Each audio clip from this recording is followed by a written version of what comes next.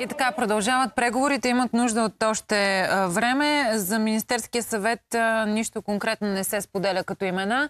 Ние обаче по наша неофициална информация сега ще ви представим проекто състав на, на кабинет. Пак казвам с оговорката, че това е а, неофициална информация през наши източници. Нека да видим. Калин Стоянов а, остава министр на вътрешните работи. Атанас Славов също министр на правосъдието.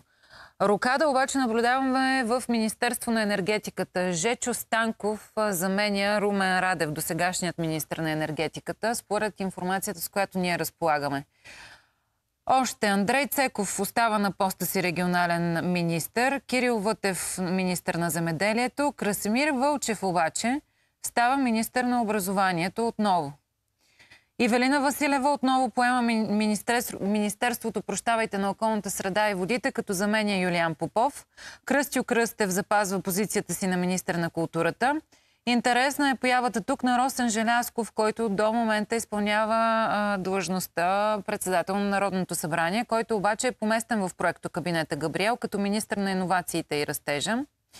Богдан Богданов запазва позицията си на економически министр. Деница Сачева отново се връща като министр на труда и социалната политика в проекто кабинета Габриел. Георги Гвоздейков остава министр на транспорта. Зарица Динкова, министр на туризма и Александър Йоловски, министр на електронното управление. Така изглежда проекта кабинета Габриел.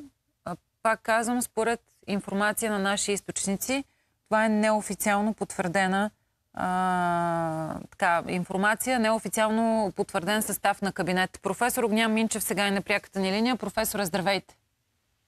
Здравейте. А, докъде стигнаха? А, каква е равносметката ви? Едни такива резки ходове политически наблюдаваме последните 24 часа. А, скандала се вдигна, вдига до небесата и след това наблюдаваме нещо, което на практика чак чак не е за вярване. Хепи енд. Ако трябва да коментираме стилистиката, едно подобно извиване на ръце, разбира се, не е особено добър атестат за политическа култура и за политически взаимоотношения в една демократична страна. Въпреки, че разбира се, всяка страна трябва да отстоява интересите си. Друг е въпросът, че това не се прави с салто морталята в последния момент – това го казвам не само защото в случая Гер го е направил, а защото и от другата страна по различни поводи, в, в различен контекст имахме подобни прояви. Общо взето, поставянето на другата страна пред свършен факт беше господстващата стилистика на тези преговори, които се водиха между ППДБ и ГЕП СДС. И до последния момент очевидно, че тази стилистика ще продължава да доминира. Сега, погледна точка на съдържателните неща. Очевидно е, че в това, което направи с нощи ГЕРБ, има, може би, няколко важни неща.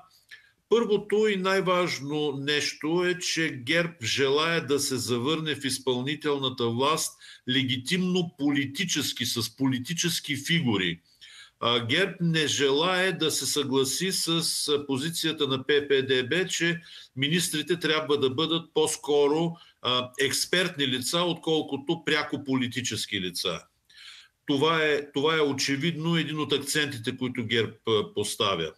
Вторият акцент е свързан с обстоятелството, че ГЕРБ би желал да слее момента с получаването на мандата и връщането на папката с готово споразумение, с готово правителство, тъй като след като ГЕРБ поеме мандата, вече всеки провал на този мандат е и политически неуспех на партия ГЕРБ, поради което другата страна би могла да получи някакви тактически предимства, ако преговорите продължат през цялата тази седмица.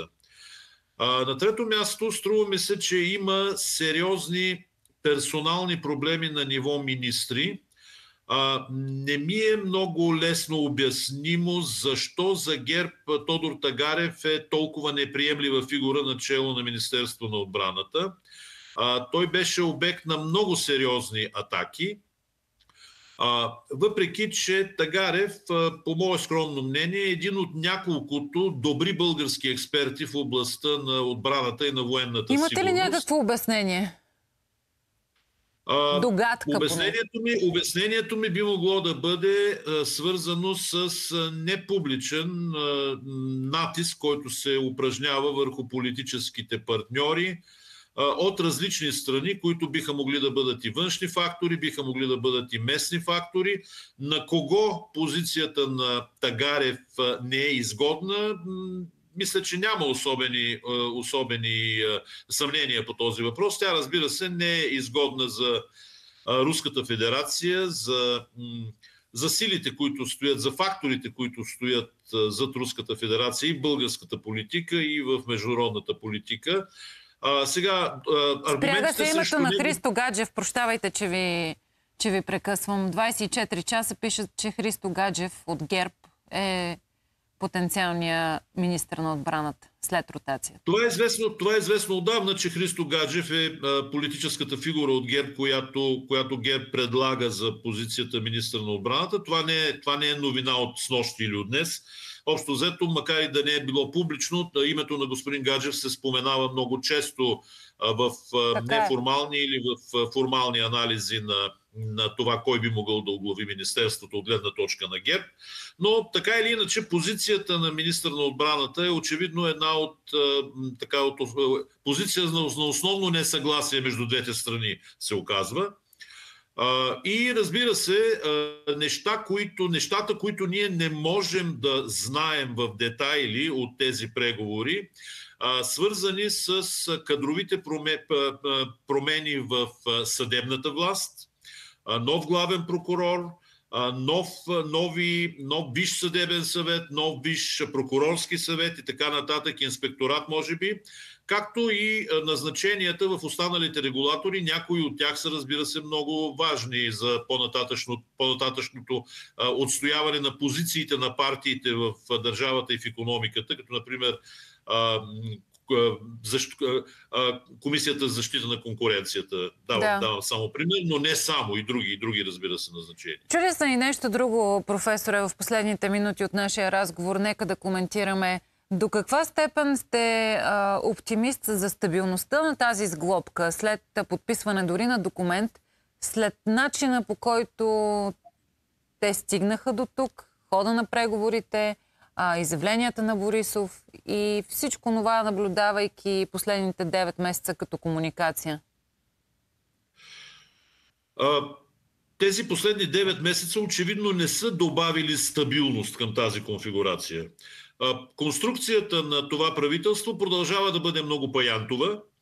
А, двете страни са много силни антагонисти по силата на редица причини, някои от които вече споменахме но същевременно шансовете това правителство да се запази в една преработена форма за следващите 9 месеца остават високи поради, поради редица причини.